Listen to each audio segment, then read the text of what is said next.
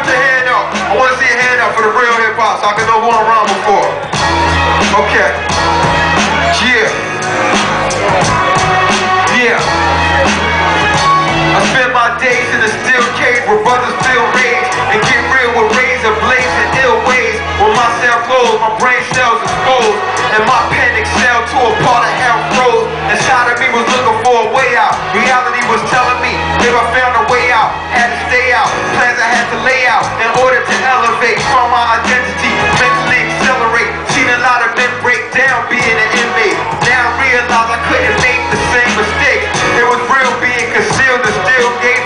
who feel hate against another race, which only